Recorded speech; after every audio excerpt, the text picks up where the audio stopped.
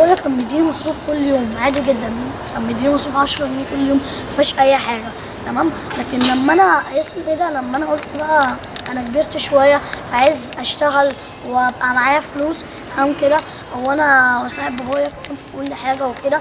بس فقلت فقلت أنزل أشتغل تمام؟ وأبقى معايا فلوس واجي وأجيب كل اللي أنا نفسي فيه واللي أنا عايزه. وفلوس البروفة برضو أنا اللي بدفعها.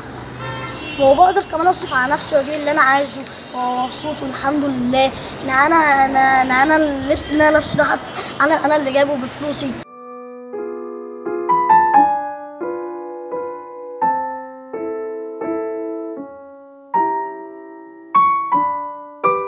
آه، يوسف انضم معايا من آه، عرض 30 حي الزمالك إحنا كل بعد كل عرض بنعمل اختبارات بينضم لناس جديدة وفي ناس قديمة برضو بتنتقل لحتة تانية.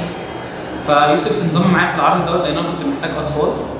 يعني كانت فكرة جديدة إن أنا هعمل جن أو شيطان آه، من نوعية الطفل الصغير إزاي يتغلب على يوسف أبهرني جدا في الحتة دي بالذات إن هو تغلب فعلا وقدر يعمل آه، جن.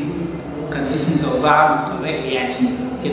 ده كان نوع من أنواع المدرسة الملحمية. كان عرض اسمه 30 حي الزمالك. يوسف شاب متميز جدا ومتنوع بيعرف يغير جلده زي ما إحنا بنقول في المسرح يعني. وشاب بيحترم المسرح.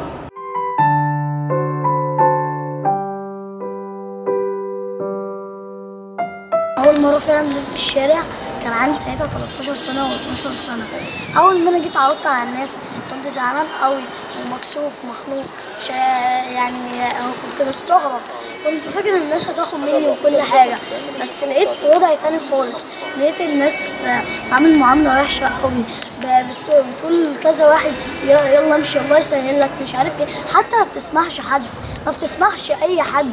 كل كل اللي هي بتفكر فيه اللي هي بتبقى قاعدة مثلا اللي بيبقى قاعد على القهوة يشرب له كوباية شاي ولا كوباية قهوة تمام كده؟ وأنا أروح أعرض عليه العرض حتى حتى مش موافق مش موافق حتى اللي هو يسمعني. طب ليه؟ طب اسمعني حتى أقول آه أو لأ كده. براحتك. لكن أول ما أنا أخش عليه أقول له السلام عليكم. السلام عليكم دلوقتي أنا معايا عرض عايز شكرا جدا. الله يسهل لك مش عارف إيه واللي يقول لي الله يسهل لك طب أقول له حضرتك اسمعني اسمعني حضرتك ده إحنا هنتناقش حتى. يلا يا ابني الله يسهل لك وزقني. طب هو أنا إيه؟ هو أنا يعني خدام عندك؟ أنا جاي بعرض عليك عرض.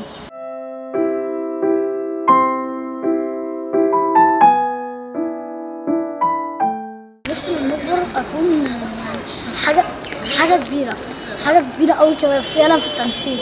أكون مخرج يعني ما أسيبش ابدا من وضع التمثيل ده.